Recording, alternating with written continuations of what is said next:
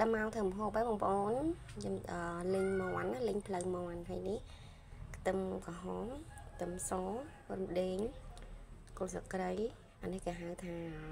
ម្ទេសការ៉េខ្ញុំយកពណ៌ក្រហមពីរផ្លែហើយជីវ៉ាន់ស៊ុយកាពុសើចហើយនេះផ្លូវមាន់ខ្ញុំប្រើចំនួន3ផ្លូវបងប្អូន